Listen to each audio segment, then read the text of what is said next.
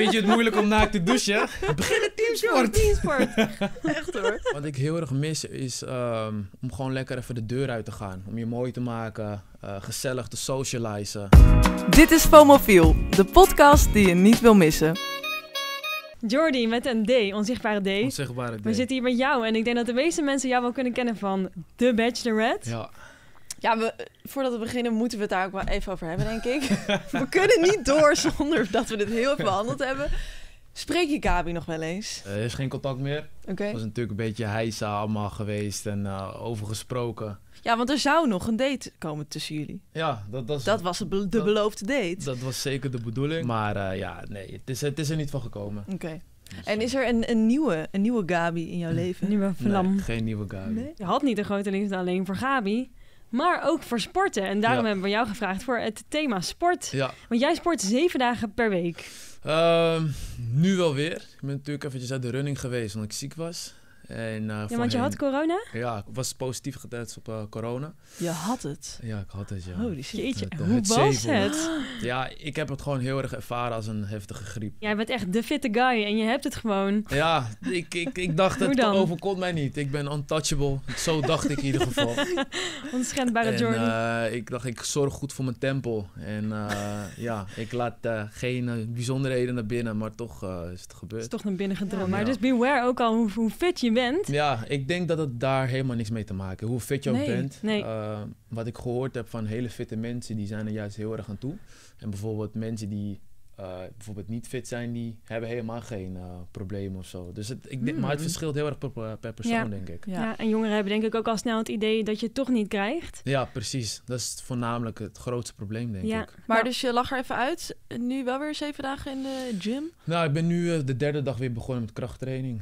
Eh, de eerste week had ik echt kracht en stabilisatie. Eh, puur met het feit dat ik heel veel kracht ben verloren. En eh, ik had heel weinig longcapaciteit. Dus ik was daar heel erg in beperkt. En dat heb ik eigenlijk de eerste week een beetje proberen op te, weten op te, op te bouwen. Ja, en toen dacht ik van, ik heb geen zin meer. ik wil ondernemen, ik wil knallen, weet je. Dus zo heb ik gewoon ingesteld ook. Ja. En toen dacht ik van, ik ga gewoon. En nou ja, als ik moe ben, ja, dan ben ik allemaal wat langer. Zolang ik het maar doe. Laten we beginnen met de eerste vraag. Ja. Wat was jouw FOMO-moment van de week? Wat heb jij gemist? Ehm, ja, er zijn meerdere momenten, maar wat ik heel erg mis is ehm, om gewoon lekker even de deur uit te gaan. Om je mooi te maken, eh, gezellig te socializen. Eh, dat dat heb Ja. je nu eigenlijk helemaal niet. Eh, om even lekker je ei kwijt te kunnen. Ehm, je energie. eh, wat ik zeg van, ik zit bijna elke dag op de bank, ik word helemaal gek. Ja. Even ergens heen gaan Ja, en gewoon gewoon je best ervoor doen. Precies, ja. En gewoon even leuk. eh, wat ik al zei, lekker babbelen. Ja. Nieuwe mensen ontmoeten. Dat vind ik zelf altijd heel erg leuk. Ja, dat ligt echt Ehm, allemaal stil. Ja, dat ligt allemaal Ja. stil, ja. Maar dus was deze week even een piek in dat je echt dat heel erg miste. Ik had het, ik had het ja, we, zijn nu op, we zitten nu op woensdag dan. Maar ik had het van het weekend. Oh, ja. Dat ik echt, eh, ja, wat was het, half twaalf zat ik thuis. En ik zat zo met mijn armen over elkaar.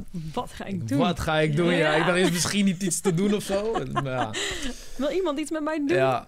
Maar eh, nee, ja, ik denk een kwestie van tijd. En als we gaan, en dan doen we het tien keer zo hard, denk ik. Ja. Dat is die instelling. Ja, 100%. En jij dan, Jul? Ja. Nou, ik heb deze week mijn bed gemist. Ehm, want er, li- ja, er, er liep een muis in mijn kamer. eh, naast mijn bed. Dus, eh, en ik was op een gegeven moment, had ik die muis ontdekt. Muizenkeutels, nou dat wil je echt niet. Ehm, toen heb ik alles doorzocht, alles schoongemaakt. Dacht ik dat hij weg was. Toen lag ik in bed. Ik weet nog, ik had die avond een slaappil genomen. Ik lag in bed en ineens hoorde ik iets. En toen werd ik gek. Toen dacht ik, ja, ik kan hier nu niet slapen. Dus toen ben ik midden in de nacht met de taxi naar mijn vriend gegaan in mijn pyjama. Nee, joh, echt waar? Maar met die slaappil op, dus dan ben je super duf. dan ga je zo naar buiten. Maar ik, ja, als er een muis bij je hoofd zit, achter je bed. Ja, ze Nee, zijn dat is banger voor jou dan... eh, Dat is, Ja, Ja. maar het, gewoon het idee dat er iets wat leeft zo naast je. Nee, ik, En dat hij zo zit te knagen naast je hoofd. ja, Gewoon een nieuw huisdier erbij. ja, ja, we hebben een poes. Dus Ja. nou goed. Maar dat, dus ik miste mijn bed deze week. Dat ik echt op een gegeven moment dacht, ik ben een beetje van bed naar bed aan het leven. Ik wil gewoon mijn eigen bed, mijn eigen Ik kamer. hoop wel alleen eh Jozef net dan. Ja, ja, ja, ja. Veer, wat heb jij gemist? Eh, wat heb ik gemist? Nou, ik was afgelopen week heel erg aan het, eh, mijn foto's aan het terugkijken. Want ik miste het gewoon Dat je de Hmm. vrijheid hebt, hebt om op vakantie te gaan of om ergens heen te gaan wat niet Nederland is. Ik heb daar echt even behoefte aan. Dus ik zat allemaal foto's te kijken drie jaar geleden. eh, Zuid-Amerika, Guatemala. En ik dacht echt, dat kan gewoon niet. Je kan niet, niet dat ik nu zou gaan, maar de vrijheid die is er niet om weg te gaan naar een plek waar je wil. En ik heb wel echt FOMO over eh, op vakantie gaan naar iets wat echt een totaal ander land is dan Nederland. Als jij wil gaan, dan ga je gewoon natuurlijk. Dat is jouw eh, mindset. Nee, nee, nee. nee. Nee, dat is goed advies, hè? Nee, Maar- maar, bewijs van spreken natuurlijk. Hè? Ja. ja. Ja. Had je dan ook... Gisteren was persconferentie, toen werd gezegd dat je tot half februari niet naar het buitenland mag. Ja, mag dus. Wordt geadviseerd om niet te gaan. Mhm. Was dat dan ook eens even zo? Nou, dat was de eerste persconferentie dat ik wel echt zoiets had van... nu ben ik er een be- beetje klaar mee. Mhm. Hiervoor dacht ik, oké, prima, ik snap het... en we moeten ons eraan houden. En nu had ik voor het eerst wel een klein beetje... Dat, dat meneer Rutte dan toch een beetje je vader is. Dat hij zegt, je mag dit niet doen. We hebben veel gemist dus deze week, als ik het zo hoor. Iets wat we ook allemaal hebben gemist, dat eh, gaan we nu even bespreken in Mispoes. Mispoes! Want we hebben een historische lancering gemist, letterlijk. Vorige week is er namelijk een kipnuggets de ruimte in geschoten. Huh? Ehm, de Britse supermarkt Iceland die, eh, is gespecialiseerd in de verkoop van diepvriesproducten. Ja. Zij bestaan 50 jaar, dus dat wilden ze feestelijk vieren. Dus ze besloten hun beste verkochte product, de kipnugget, te lanceren in de ruimte. Letterlijke lancering. Ja. Nou ja, het was hilarisch. Ik heb een filmpje gezien en na drie kwartier is dus die kipnugget aangekomen. Eén één kipnugget Eén trouwens. kipnugget, ja. Heel Hoe, random. hoe hebben ze hem daar naartoe gestuurd dan? Gewoon, Huh? eh, Ja, ik weet ook niet precies hoe het zat. Maar in ieder geval, daarna ging hij met de parachute naar beneden. Zodat hij ook nog heel huids terugkwam op aarde. Dus hij is eigenlijk een soort van als een boemerang heen en weer Maar Maar dan is hij Oh, niet oké. de echte ruimte in geweest, toch? Want dan kan je niet met een parachute terug. Nee, nee, hij is dus, die pas is dus later uitge... Ja, ik... Goed. Volgende week hebben we de kipnuggets eh, te kwartier ben gast. jij niet eh, eh, over, hoe noem je? Je hebt zo'n soort van laag. Misschien een waar kipnugget je wel, hè? overheen moet gaan. Ja, Dus de... de aarde heeft een laag. Hoe Ja. heet dat ook Nou, weer? Nou, wat slechte De, atmosfeer. de ozonlaag? Nee. De ik weet niet, waar, heb je, waar doelen jullie op? Nee, kijk, de, de aarde heeft een soort van laag. En als Dat je gaan we niet laag uitzenden. Nee, dit knippen eruit. knipt, nou, als je die laag over bent, dan ben je zeg maar in principe echt in de ruimte. Ja. Ja, dat bedoel ik. Dus als je in de ruimte zit, dan kan je niet meer met een parachute Nee. terug die bubbel in, want dan ben je gewichtloos. En dan, dan ga je als kipnugget gewoon een beetje rondjes daar. Ja. Dus dan ben je niet echt de ruimte in geweest. Sorry. Laten we zeggen, hij is in de buurt geweest. Hij is er geweest. en het is ook wel mooi, want het is daar dus min 60. eh, min 60, ja, 60 graden onder nul. Ja. En dat is die diepvrieskipnugget natuurlijk gewend. Ah. Dus Hij vandaar. was echt een En als hij element. terugkomt, dan wordt hij opgegeten. Ja, ja, wie weet. nou, ik ben wel benieuwd, Jordi. Heb jij met jouw fitte lifestyle...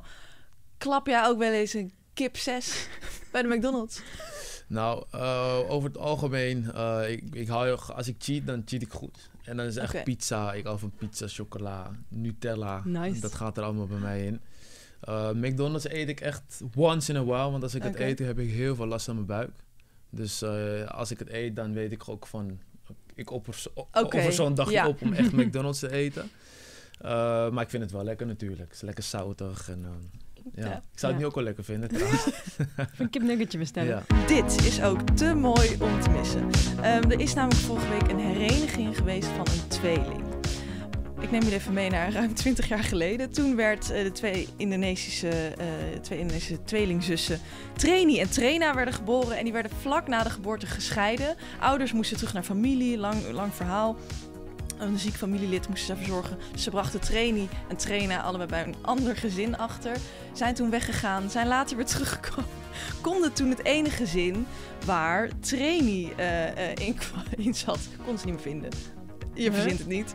Oh Eh, nou heeft dus vorige week eh Trena via TikTok haar zus weer gevonden. Nou, Ze zag een TikTok waar? waarin ze dus die zus herkende. En ze dacht, dit, dit lijkt zoveel op mij. Toen zijn ze elkaar gaan opzoeken. En toen dacht nog die een dat de ander een soort van stalker berichtje stuurde. Van, nou ja.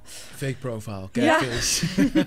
En dat was gewoon een tweeling. Dus ze konden elkaar na twintig jaar weer maar ze wisten dus van elkaar dat ze een zus hadden. De Dat een wel. wist het niet van de ander. Oh, dat Ja. lijkt me wel scary. Als je dan zo'n bericht krijgt. Ja. Ik ben wel benieuwd of ik een dubbelganger heb. Dat ik lijkt me denk best dat wel iedereen leuk. wel een dubbelganger heeft. Ja? Heb jij die van jou wel eens gezien? Ja. Ja. Echt? Ja, Nee. ja, ja. Wie dan? Ja, zo- zo'n, eh, die, ja, ik, ik ken hem niet. Of althans, ik heb hem ooit een keer gesproken. En eh, dat was echt jaren geleden. En hij eh, volgde mij volgens mij een keer op Insta. En toen zag ik in één keer, ik zeg, ik zeg yo, ik zeg, jij lijkt superveel op mij, hoe kan dit? Wat raar. Ja, dat was Ja. heel weird. Maar ja, je weet zeker dat het niet je tweelingbroer Nee, is. want hij had andere roots. Ah. Oh, wel even Dus, dat, besproken eh, met hem. Ja, ja, ja. Ik zeg, wat ben je dan? Die zegt, Nice. eh, misschien toevallig per ongeluk, maar eh, Ja, Ongelukje. ja. We gaan over naar de stellingen. Eh, want elke aflevering hebben we een ander thema eh, wat betreft fear of missing out. En nou, dit, nu is het dus sport. Mhm. En het gaat echt over de angst om dingen te missen, de perfecte plaatjes. En ja, dat zit natuurlijk eigenlijk hier, Jordi. Mhm. Dus we gaan het met jou daarover hebben. Ja, zit gewoon een perfect plaatje bij onze tafel. Ja. eh. We moeten allemaal zijn zoals jij. Nou, nou, nou. Ja, leuk. Eh, de eerste stelling is: ik sport voor mezelf en niet voor anderen. Veerle. Leuk dat je mij kiest. Ja. Ja, ik sport wel. Ik word er wel echt heel gelukkig van om te sporten. Het is wel sowieso voor mezelf. Ja, want ik ben altijd gelukkiger als je hebt gesport. Dan kom je, dan kom je thuis en dan ben ik gewoon heel blij. En dat Mhm. als je even niet chill voelt en je hebt gesport, dan ben je daarna gewoon wel weer een beetje blij. Maar ik heb ook wel... Ik sport wel voor anderen in die zin van... Ik wil er ook wel goed uitzien. Op een gegeven moment had ik voor de zomer dat ik wel dacht... Ik heb te weinig gesport en nu krijg ik een klein beetje een buikje.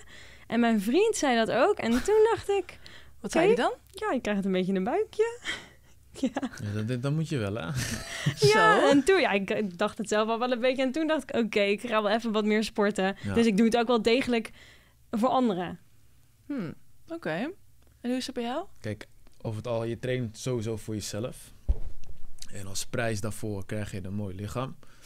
En dat lichaam wil je ook weer laten zien.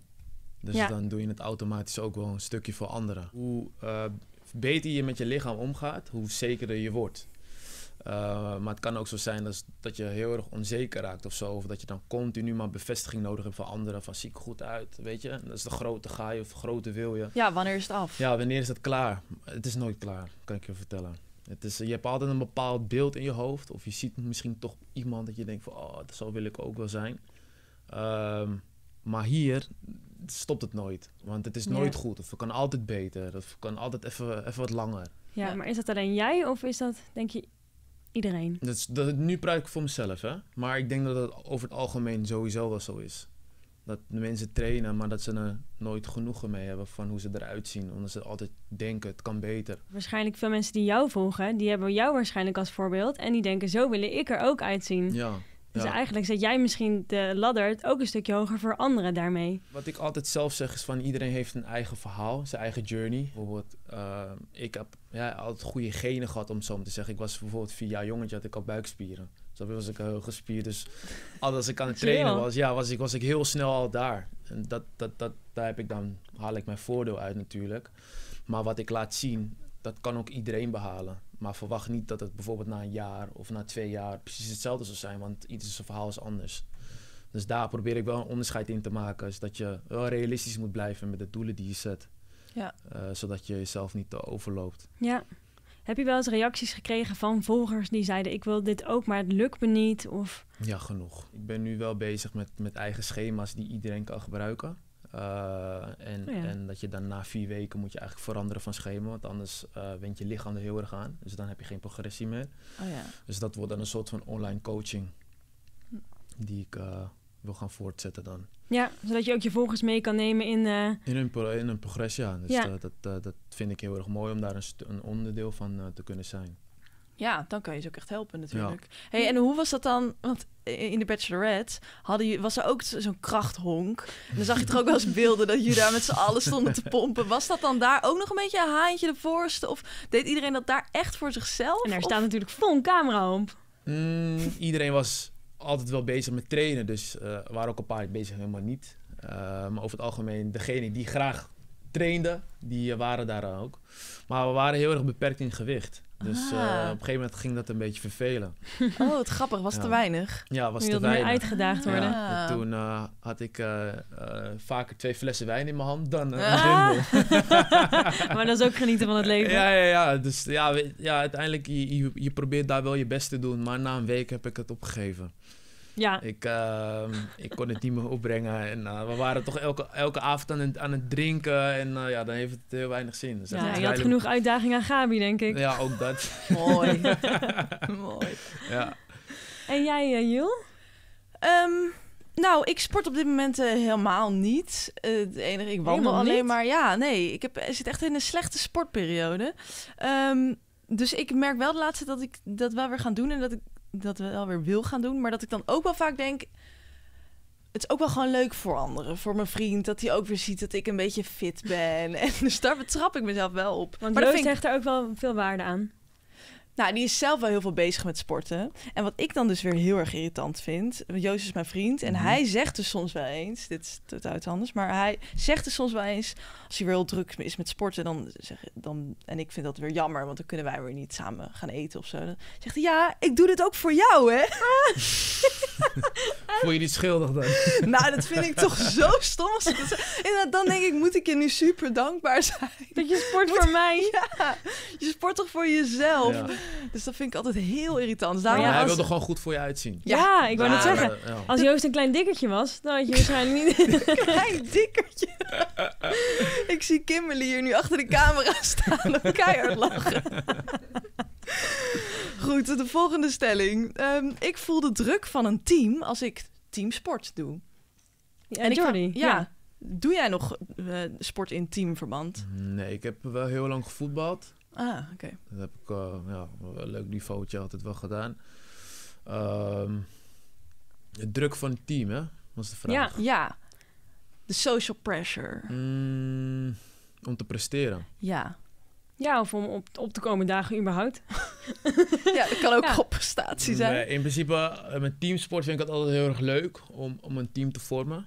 Ehm, ik wil wel altijd de beste zijn. Dus met het team wil ik ook het beste zijn. Dus dat is- Mm. ben ik gewoon ingesteld. Ehm, maar ja, uiteindelijk als je een soort van een beetje uitblinkt of je valt op, dan zijn er altijd wel eh, bijvoorbeeld mensen die dan op je gaan rekenen.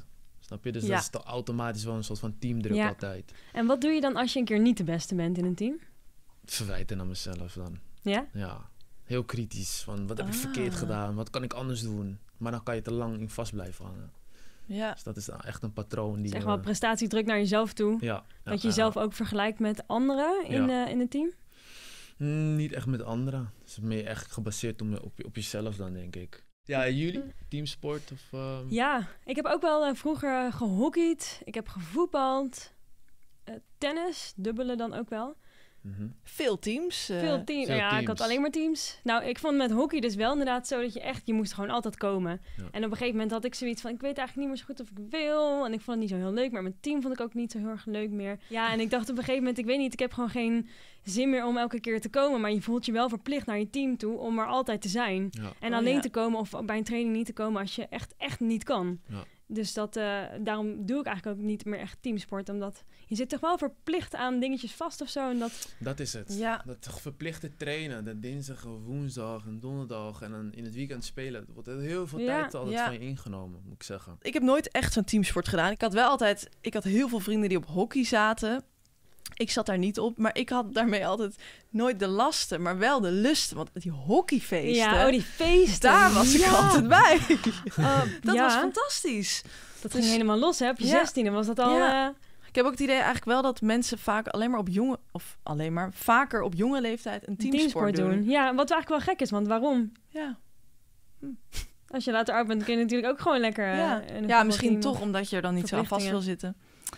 Ik denk dat het voor, voor de jeugd goed is om een team te- teamsport te doen. Om goed te socializen. Ja. Eh, hoe je kan omgaan met anderen. Dat wordt natuurlijk Ja. bijvoorbeeld als je op school zit, op de basisschool met gym en zo, wordt dat natuurlijk ook heel erg erin gedrukt. Ja, hoe waren jullie met gym? ik was ook wel heel fanatiek. Met de piepjestest en de Cooper-test en zo. Oh, jij was Ja. zo Ik had vreselijk. Echt, ik moest dat... Er moest de snelste zijn. Oh, ja, ik zie jou helemaal voor me Ja. als jonge, jong meisje. Zo'n jonge hond. Ja. Gym was wel het leukste, leukste, een van de leukste vakken van Ja. mij. Ja, dat je er goed in was waarschijnlijk. Ja. En jij dan met gym? Nou, ik, eh, ja, ik weet nog wel dat ik heel vaak mijn, mijn gymspullen niet bij me had. En ik zag er altijd al tegenop. Ja, dan, dan, excuses. Oh, dat is Oeh, ik ben ongesteld. ja, dat was nooit echt mijn favoriete ding, nee. nee. Wat ik ook nog wel, dit is een beetje een persoonlijk gemis, maar ehm, je hebt toch wel vaak bij teamsporten bij hockey, voetbal, heb je toch altijd na die wedstrijden wordt er samen gedoucht eh, na Mhm. afloop. Ik heb dus wel eens soms dat ik merk, een beetje een persoonlijk gemis, dat al die mensen die vroeger jarenlang die teamsport hebben gedaan, die zijn veel comfortabeler naakt. Met douchen. Met douchen. Ik heb soms, ik heb dat helemaal niet, maar ik heb ook nooit in zo'n team gezeten. Ik heb nooit iedere zondag na de wedstrijd met iedereen in de kleedkamer lopen douchen. Nee, Wacht, stelling. Wacht voor jou. stelling. Stel je gaat naar de sportschool? Ja. en je hebt net gesport, Ja. getraind. Ehm, ga je daar naakt douchen? Goeie vraag. Nou, ik, Zou je dat kunnen in ieder geval? ik kan me sowieso even naar de sportschool gaan, al niet meer zo goed herinneren. Ja, maar oké, Eh, stel je voor, hey, je nou, ik vind dat wel week. een dingetje. Ja, Ja? ik vind dat wel een dingetje. En het hangt dan ook weer af van eh, wat voor soort sportschool het is. Mhm. Als iedereen super fit is, super goed uitziet, dan vind ik dat ook al moeilijker. Anders maakt het me niet zo uit. Het is toch, ik vergelijk me dan toch met de anderen. Ja, je Is bent het- wel comfortabeler als je vanaf jongs af aan ook gaat douchen Ja, met mensen. dat, ja. dat merk ik wel bij mensen. Dus wat dat betreft is teamsport wel, ja, dat is dan toch wel iets goeds. Dat is wel een pluspunt voor mensen die naakt willen douchen met elkaar. Ja. Nou, vind je het moeilijk om naakt te douchen? Begin een teamsport. Teamsport. Echt hoor. Goed, Ja. tot zover mijn persoonlijke eh, dingetje. Ja, maar ik, nou, ik moet zeggen, ik hou er ook niet van. Maar wij gingen ook nooit douchen. Oh, Nee, ja, we gingen gewoon nooit. Dat Die- is ook raar die eigenlijk. teams wij waren gingen er niet wel. douchen. oh. Dat was gewoon geen... Zeker bij de hockey was geen ding. Ik weet niet zo goed waarom. En met Hmm. voetbal deden mensen dat ook wel. Maar dat was een beetje zo'n keuze.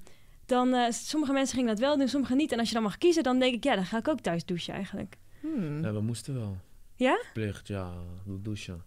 Was het dan nog wel eens een En ding? ja. Ja, nou, ik, ik, in mijn geval, eh, ik, ik tot op een zekere hoogte of leeftijd douchte ik met bokser aan.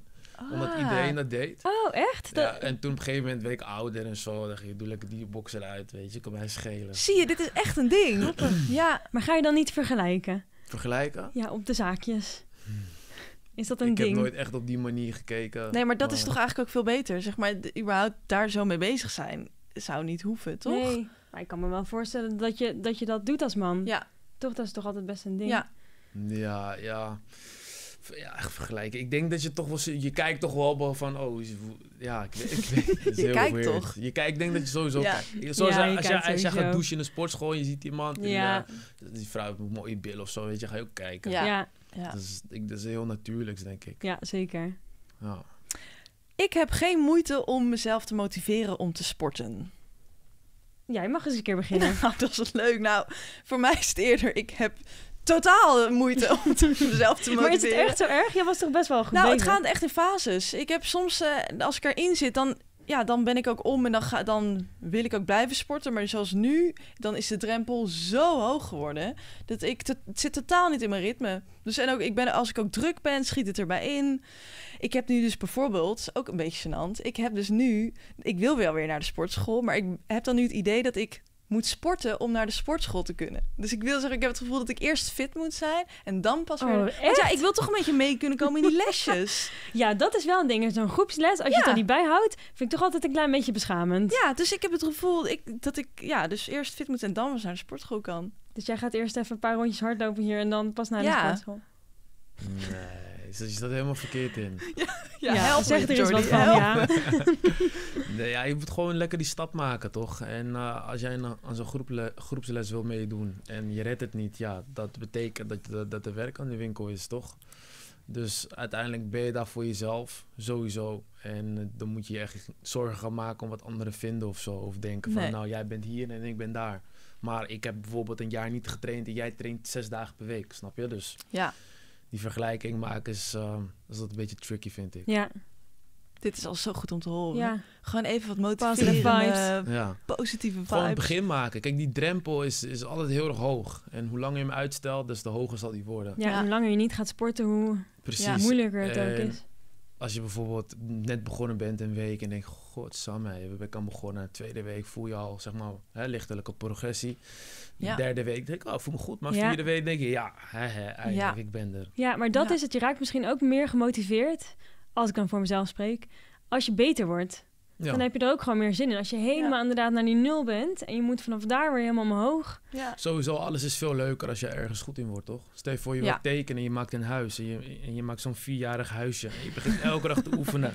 En dan doe je een keer een schaduw erbij. En een beetje 3D. En dit. Een nou, schoorsteentje een erop. schoorsteentje. Ja. Dan heb je je huis. Dan denk je, hey, ik ben goed geworden, man. Dan ga ik nu een paard maken. Bijvoorbeeld, snap je? Heerlijk voorbeeld. Ja. Ja. Ja. Het is gewoon steeds, je moet, je moet, je moet nooit... eh, wat, wat ik heel erg geleerd heb in het leven is... ehm, ik, ik legde de lat altijd enorm hoog voor mezelf. Waardoor het heel vaak zeg maar, niet realistisch was om het te halen. En toen heb ik steeds korte termijn doelen en lange termijn. Oké, wat is mijn lange termijn doel en wat zijn mijn korte termijn? Oké, korte termijn bewijzen van ik wil eh, een squat op 100 kilo kunnen. Binnen twee weken. Snap Ja. je? Dan ga ik dus trainen op die squat. Snap je? En dan wil ik binnen twee weken. En dan zeg ik van, eh, nou, ik wil over twee maanden wil ik eh, vijf kilo ben aangekomen. In spiermassa bijvoorbeeld. Nou, dan ga ik dat doel voor mezelf zetten. Ga ik eten, ga ik trainen. Ga ik alles aanpassen. Wat is nu jouw korte en lange termijn doel? Ehm, mijn korte termijn doel is weer eh, om, om mijn gewicht te komen. En ehm ja, lange termijn doel is toch wel een beetje naar het perfecte plaatje toe werken in mijn hoofd. Hoe ik het eh, Mm. voor me had. Ben je op de cover van de Men's Health? Is dat een, eh, zou dat een doel zijn voor jou? Ja, zeker. Ik heb contact ook met ze gehad. Meen je? Ja, ja, ja. Zo, dit is wel even... Ja, ja ik, ehm, ik, ik heb foto's ingezonden. Of althans, ik had een mail of een bericht eh, verstuurd op Insta. En eh, daar was toen op gereageerd. En toen moest ik een e-mail weer versturen. Ik zei, en eh, ik had daar toen een reply op gehad. En toen zei ja, mijn zegen heb je. En de redactie die eh, moest nog bepalen. Maar ik heb nog, nog geen... eh, En dat is wel echt een goed doel naartoe te werken. Ja. Ja. Dus daar was ik een beetje, dat had ik natuurlijk een beetje in mijn hoofd. En eh, ik wil heel graag een keer zo'n wedstrijd doen. Is het eh, sporten bij jou ook een klein beetje een verslaving? Ben je verslaafd aan sporten? Trainen? Ehm, Ja, het is wel verslavend, ja. Hmm. Het, be- be- be- het bepaalt ook mijn moed, vind ik. Ah. En, en eh, mijn werkprestaties, dat, dat wordt ook heel erg daardoor beïnvloed. Want wat doet het met je als je dus wel high level sport? Dan ben ik ondernemend met alles. eh, ben ik scherp, ben ik, eh, ben ik eh, energiek, eh, enthousiast. Voel me goed in mijn vel, zeker. eh, ja, standvast in alles wat ik doe. Zo, leeft Zo. helemaal op hier. Ja, joh. Eh, helemaal op deze ja. Eh, we hebben zometeen nog één vraag van eh, de luisteraar op het Mhm. einde. Maar voordat Ja. we daar aankomen... Wij hebben een aantal experimenten waarbij we alles of niets moeten doen op het gebied van FOMO. Het eerste experiment was dat eh Jul alles moest afzeggen en ik moest alles doen die week. Nou, het was die week prachtig weer. Jul heeft zich daar niet aan gehouden. Daar had, eh, had ze een consequentie voor gekregen, namelijk Ja, ja, ja. Sanctie. een sanctie. Ik heb deze week een hele mooie post geplaatst. Want ik moest dus als straf moest ik een post doen. Een soort shout-out naar de, de bij. Onze ondertitel van de podcast is bij zijn is meemaken. Nou, ik heb me er niet aan gehouden. Ik moest een post doen over een bijen. Dat, de week bijen- van de bij. De week van de bij moest ik promoten. Heb ik gedaan. Het was een beetje de, de social shame. Ik heb hiervan genoten. Maar wat wel heel leuk is, ik heb dus meteen een DM gekregen van een imker. Die zei, wat leuk dit. Kom maar eens een keer kijken bij ons.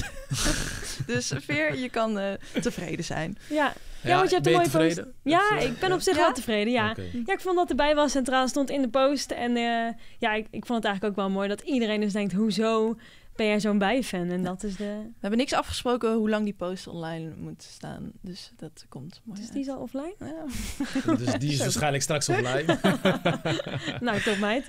Nou, ja, laatste vraag van de luisteraar. Bij zijn is meepraten. Eh, we hebben eh, dit keer een vraag van luisteraar Doris. Mhm. Zij vraagt zich af, zou je ook een relatie nemen met iemand die ongezond leeft? Dus niet sport of ongezond eet. Die ba- balans moet er wel een beetje zijn. Want als jij elke dag eh, bijvoorbeeld eh, wortelen eet en die persoon voor je eet elke dag een, eh, weet ik veel wat weg, Frietje. een frietje of zo, Kip 6. dan ga je op een gegeven moment ga je daar wel aan irriteren, denk ik. Dat je denkt van, Ja. Eet is even gezond, man. ja, doe eens even gezond, ja, Ja. want jij bent zo bewust bezig en, Ja. die, en je ziet die andere, of andere persoon zie je zeg maar en zichzelf een beetje... frustrerend. Terwijl je toch ook vergallen. die, die kip 6 eten? Ja, nou, Of niet? nee, Nee. nee. Misschien een hapje, maar Toch dan na niet. een paar keer is dat ook klaar, denk ik. Ja. Er, is- moet- moet echt een balans in zitten. Zou jij ook niet, stel je bent dus leuk aan het daten met iemand en diegene is totaal niet fit of is heel moeilijk te motiveren. Zou jij dan ook niet meteen uitgedaagd worden om diegene te, te motiveren? Ik denk sowieso in het begin wel, ja. Ja, ja, ja. Ik Ja. zeg, hey, nu eventjes... Ja, eh, dat- dat even- zie ik helemaal ja, voor ja, me. Ja, ja, zeker. Dan ga, je, dan ga je even tot stof, hoor.